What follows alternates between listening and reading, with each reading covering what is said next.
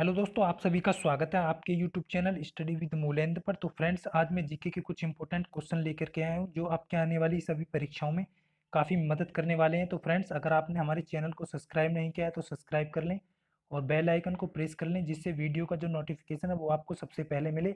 और टेलीग्राम का लिंक मैंने वीडियो के डिस्क्रिप्शन में दे दिया है, आप उसे ज्वाइन कर सकते हैं और पीडीएफ वहीं से डाउनलोड कर सकते हैं। तो फ्रेंड्स बिना किसी टाइम को वेस्ट किए वीडियो को स्टार्ट करते हैं।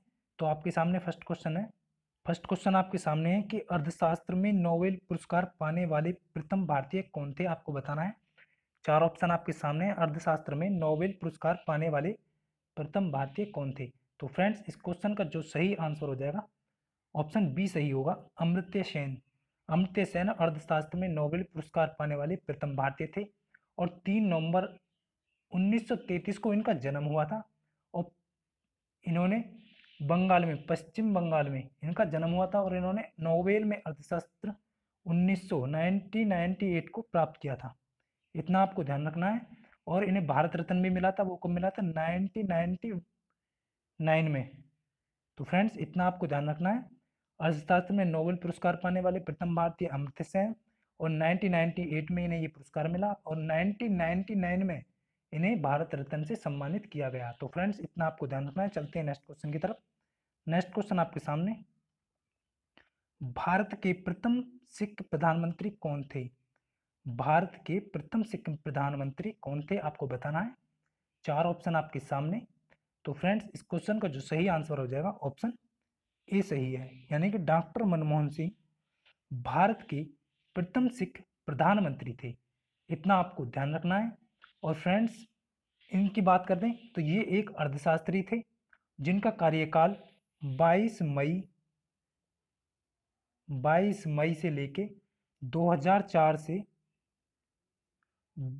26 मई 2014 तक रहा था। उसके बाद पीएम नरेंद्र मोदी जी आ गए थे। तो इतना आपको ध्यान रखना है, ये भारत के प्रथम सिख प्रधानमंत्री थे। चलते हैं नेक्स्ट क्वेश्चन की तरफ़। नेक्स्ट क्वेश्चन आपके सामने थर्ड क्वेश्चन नोबेल में पुरस्कार प्राप्त प्रथम भारतीय महिला कौन है? आपको बताना है। नोबेल पुरस्कार प्राप्त करने वाली जो प्रथम भारतीय महिला वो कौन है? तो फ्रेंड्स, इस क्वेश्चन का जो सही आंसर है, ऑप्शन बी सही हो जाएगा, मदर टेरेसा। नोबेल पुरस्कार प्राप्त करने वाली प्रथम भारतीय महिला थी। और बात करते हैं, इनका जन्म किस परिवार में हुआ था? इनका जन्म अल्वेनियाई अल्वेनियाई परिवार में इनका जन्म हुआ। और जन्म कब हुआ था? 26 अगस्त 1910 1910 26 अगस्त 1910 में इसका जन्म हुआ था और नोवेल, इन्हें नोवेल जो पुरस्कार मिला था वो शांति के लिए मिला था। तो फ्रेंड्स, इतना आपको ध्यान रखना है। नोबेल पुरस्कार कब मिला था? 1971 को इन्हें नोबेल पुरस्कार शांति के लिए दिया गया और इन्हें भारत रत्न पुरस्कार भी मिला था, वो मिला था 1980 को। तो फ्रेंड्स, इतना आपको ध्यान रखना है। और ये दिल के दौरे के कारण इनकी मृत्यु हुई थी। तो इतना आपको ध्यान रखना है। चलते हैं नेक्स्ट क्वेश्चन की तरफ़। नेक्स्ट क्वेश्चन आपके सामने। भारत रत्न प्राप्त करने वाली प्रथम महिला। आपको बताना है, चार ऑप्शन आपके सामने। तो फ्रेंड्स, इस क्वेश्चन का जो सही आंसर है, वो हो जाएगा आपका ऑप्शन बी। श्रीमती इंदिरा गांधी भारत रत्न प्राप्त करने वाली प्रथम महिला थी। और ये, इनका जो उपनाम था, वो क्या था? उपनाम इनका उपनाम था नेहरू। और इनको जो गांधी की जो उपाधि मिली थी, वो फिरोज गांधी के विवाह के समय मिली थी। इतना आपको ध्यान रखना है। और इनका जो पूरा नाम है, वो इंदिरा गांधी प्रियदर्शनी थी। इंदिरा गांधी, इंदिरा प्रियदर्शनी गांधी सॉरी इंदिरा प्रियदर्शनी गांधी इनका पूरा नाम है। और इन्होंने जो ये भारत की प्रधानमंत्री रही, तीन बार प्रधानमंत्री रही, उन्नीस से एक बार उन्नीस तक, दो बार और उसके बाद 1980 से उन्नीस सौ चौरासी में ये भारत के तीन बार प्रधानमंत्री रही, जिस, जिसके उन्नीस सौ चौरासी में अपने प्रधान पद पर मार दी गई थी। इतना आपको ध्यान रखना है। चलते हैं नेक्स्ट क्वेश्चन की तरफ़। नेक्स्ट क्वेश्चन आपके सामने। प्रथम महिला चिकित्सक कौन थी? आपको बताना है, प्रथम महिला चिकित्सक कौन थी? तो फ्रेंड्स इस क्वेश्चन का जो सही आंसर हो जाएगा, वो हो जाएगा आपका ऑप्शन सी सही है। प्रथम महिला चिकित्सक कौन थी? तो वो कादम्बिनी गांगुली। कादम्बिनी गांगुली प्रथम महिला चिकित्सक थी और इनका जन्म 18 जुलाई 1861 ईस्वी में भागलपुर, बिहार के भागलपुर में हुआ था और भारत की प्रथम महिला स्नातक भी इनके जाना जाता है। भारत की जो प्रथम महिला स्नातक के नाम से भी इन्हें जाना जाता है। तो फ्रेंड्स, चलते हैं नेक्स्ट क्वेश्चन की तरफ़। नेक्स्ट क्वेश्चन आपके सामने राष्ट्रीय ध्वज तिरंगे में तीन छेदित पट्टियाँ किस अनुपात में रहते हैं? आपको बताना है, हमारा जो राष्ट्रीय ध्वज है, उसमें तीनों पट्टियों का जो अनुपात है, वो कितना है? तो फ्रेंड्स, इस क्वेश्चन का जो सही आंसर है, ऑप्शन सी हो जाएगा। तीनों का जो अनुपात है, वो सेम है एक अनुपात एक अनुपात, एक में। तो फ्रेंड्स, चलते हैं नेक्स्ट क्वेश्चन की तरफ़। नेक्स्ट क्वेश्चन आपके सामने। राष्ट्रीय ध्वज तिरंगे का सफ़ेद पट्टी किस बात का संकेत देता है आपको बताना है? राष्ट्रीय ध्वज में जो सफ़ेद पट्टी है, वो किस बात के लिए संकेत देता है? तो फ्रेंड्स चार ऑप्शन आपके सामने हैं। तो इस क्वेश्चन का जो सही आंसर हो जाएगा, वो हो जाएगा आपका ऑप्शन सी सही है, शांति और सत्य। सफ़ेद जो पट्टी है भारत में, के ध्वज में, वो शांति और सत्य का प्रतीक है। तो फ्रेंड्स इतना आपको ध्यान रखना है। और बात करें केसरिया की तो केसरिया जो पट्टी है, वो ताकत और साहस के लिए है। तो फ्रेंड्स, चलते हैं नेक्स्ट क्वेश्चन की तरफ़। नेक्स्ट क्वेश्चन आपके सामने।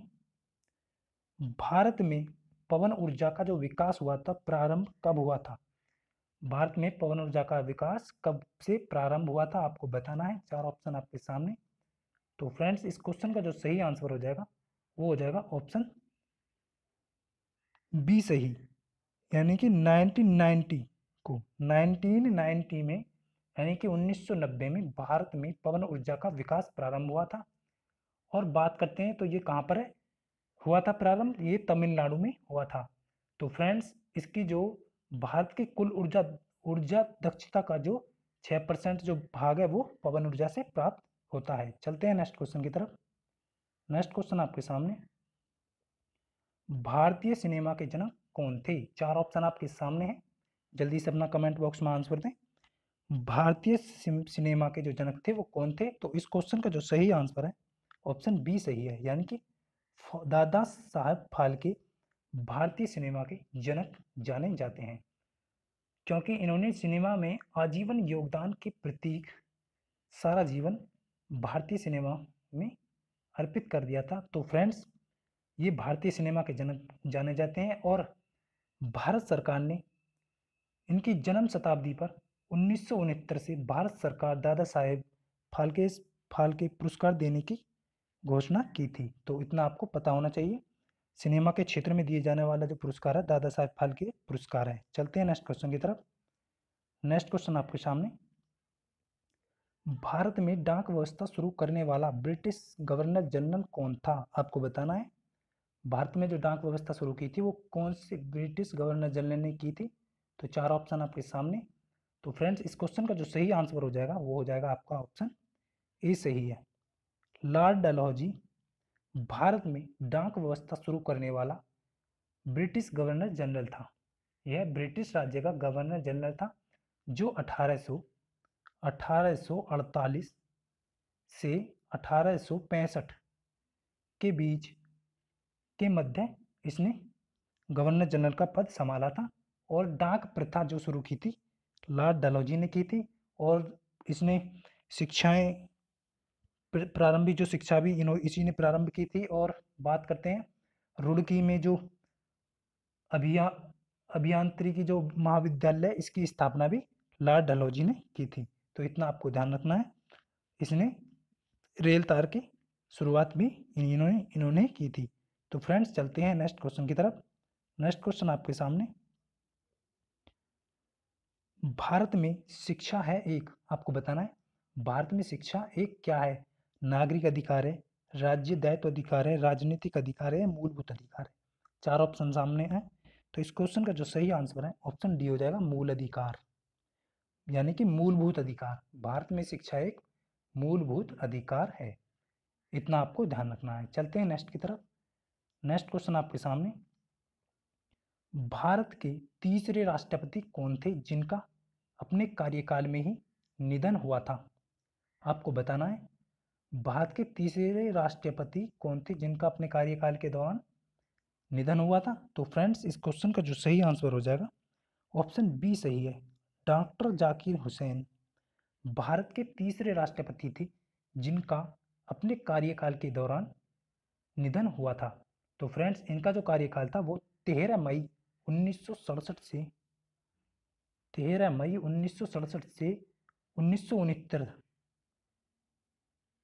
के लिए हुआ था। तो फ्रेंड्स इनका जन्म जो हुआ था, वो धानठ्य पठान परिवार में हुआ था। कौन से परिवार में? धानठ्य परिवार पठान परिवार में। और इन्होंने उन्नीस में उपराष्ट्रपति का पद भी संभाला था। और ये बिहार के राज्यपाल के रूप में भी सेवा कर चुके हैं। तो इतना आपको ध्यान रखना होना चाहिए कि इन्होंने बिहार के राज्यपाल के रूप में सेवाएँ की हैं और उन्नीस सौ बासठ में उपराष्ट्रपति का पद संभाला था और ये भारत के तीसरे राष्ट्रपति बने हैं। तो इन्हें उन्नीस में भारत रत्न से सम्मानित भी किया गया था। इतना आपको ध्यान रख लेना है। चलते हैं नेक्स्ट क्वेश्चन की तरफ़। नेक्स्ट क्वेश्चन आपके सामने। भारत का राष्ट्रीय ध्वज नियम कब से लागू दिया गया? कब से लागू कर दिया गया? आपको बताना है। भारत का जो राष्ट्रीय ध्वज नियम है, वो कब से लागू कर दिया गया? चार ऑप्शन आपके सामने है। तो फ्रेंड्स, इस क्वेश्चन का जो सही आंसर हो जाएगा, ऑप्शन सी सही है। 2002 से भारत का राष्ट्रीय ध्वज नियम लागू किया गया था। इतना आपको ध्यान रखना है। चलते हैं नेक्स्ट क्वेश्चन की तरफ़। नेक्स्ट क्वेश्चन आपके सामने। कौन सा नदी दक्षिण भारत की गंगा नदी कहलाती है? आपको बताना है। चार ऑप्शन आपके सामने हैं। कौन सी जो नदी है? दक्षिण भारत की गंगा नदी कहलाती है। तो फ्रेंड्स, इस क्वेश्चन का जो सही आंसर है, ऑप्शन सी सही है। गोदावरी दक्षिण भारत की गंगा नदी कहलाती है। इतना आपको पता होना चाहिए और ये कहाँ कहाँ पर पड़ती है? तो फ्रेंड्स, ये महाराष्ट्र के नासिक ज़िले से प्रवेश करती है। और इसकी लंबाई की बात करें तो चौदह सौ पैंसठ, चौदह सौ पैंसठ किलोमीटर इसकी लंबाई है। तो फ्रेंड्स, इतना आपको ध्यान रखना है। और ये जाकर कहाँ गिरती है? ये बंगाल की खाड़ी में जा कर के गिरती है। इतना आपको पता होना चाहिए। चलते हैं नेक्स्ट क्वेश्चन की तरफ़। नेक्स्ट क्वेश्चन आपके सामने। प्रति वर्ष भारत का बृहत्तम पशु मेला, सॉरी, यहाँ पर मेला, मेल जो लिखा हो, मेला होगा। मेला लगता है, कब लगता है आपको बताना है? प्रति वर्ष भारत का जो बृहत्तम पशु मेला है, वो कहाँ पर लगता है? तो फ्रेंड्स, चार ऑप्शन आपके सामने है। तो इस क्वेश्चन का जो सही आंसर है ऑप्शन डी सही है, सोनपुर में। प्रति वर्ष भारत का बृहत्तम पशु मेला लगता है और ये सोनपुर पड़, आपको पता होना चाहिए कि सोनपुर पड़ता कहाँ है? ये बिहार का एक शहर है। तो फ्रेंड्स, इतना आपको पता होना चाहिए, सोनपुर बिहार का एक शहर है और इस सोनपुर को 2002 में नगर पंचायत गठित किया गया था और सोनपुर में जो प्रचलित है, वो डाक बंगला मैदान प्रचलित है, इतना आपको पता होना चाहिए। चलते हैं नेक्स्ट क्वेश्चन की तरफ़। तो फ्रेंड्स अगर वीडियो अच्छी लग रही हो तो लाइक ज़रूर करें और वीडियो को ज़्यादा से ज़्यादा शेयर करें। तो आपके लिए आज का क्वेश्चन है, भारत का बोस्टन किसे कहा जाता है? आपको इसका कमेंट बॉक्स में आंसर देना है और अगर आपने हमारे चैनल को अभी तक सब्सक्राइब नहीं किया है तो सब्सक्राइब ज़रूर कर लें और कमेंट करके बताएँ कि भारत का बोस्टन किसे कहा जाता है। चार ऑप्शन है आपके सामने। तो फ्रेंड्स अगर वीडियो अच्छी लग रही हो तो लाइक करें और ज़्यादा से ज़्यादा शेयर करें और चैनल को सब्सक्राइब नहीं किया तो सब्सक्राइब ज़रूर कर लें।